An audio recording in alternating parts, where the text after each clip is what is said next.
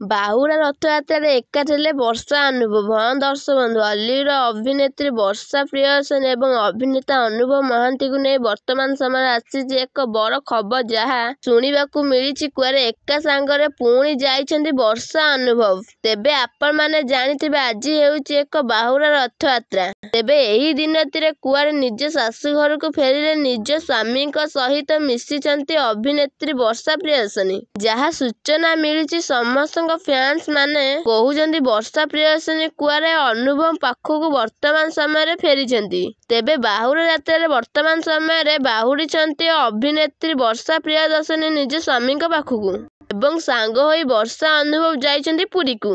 ପୁରୀରେ ପହଞ୍ଚିବା ପରେ ବର୍ତ୍ତମାନ ସମୟରେ ଜଗନ୍ନାଥଙ୍କ ପାଖରେ ଛିଡ଼ା ହୋଇ କିଛି ଫଟୋ ଓ ଭିଡିଓ ଗୁଡ଼ିକ ବର୍ତ୍ତମାନ ସମୟରେ ସୋସିଆଲ ମିଡିଆରେ ଛାଡିଛନ୍ତି ବର୍ଷା ଅନୁଭବଙ୍କ ଫ୍ୟାନ୍ସମାନେ। ଏବଂ ଏହାକୁ ନେଇ ବର୍ତ୍ତମାନ ସମୟରେ ସମସ୍ତେ କହିବାକୁ ଲାଗିଲେଣି ପୁଣି ରଥଯାତ୍ରାରେ ଏହିଭଳି ଏକ ପବିତ୍ର ଦିନରେ ବାହୁଡ଼ା ଯାତ୍ରାରେ ଏକାଠି ହେବେ ବର୍ଷା ଅନୁଭବ। ଦର୍ଶକ ବନ୍ଧୁ ଆପଣମାନେ ମଧ୍ୟ ବର୍ଷା ଅନୁଭବଙ୍କୁ କେତେ ଭଲ ପାଆନ୍ତି ଏବଂ ବର୍ଷା ଅନୁଭବଙ୍କ ଏହି ଖବର କେତେ ମାତ୍ରାରେ ଖୁସି ଅଛନ୍ତି ନିଶ୍ଚିତ ଭାବେ ଆମକୁ କମେଣ୍ଟ କରି ଜଣାନ୍ତୁ।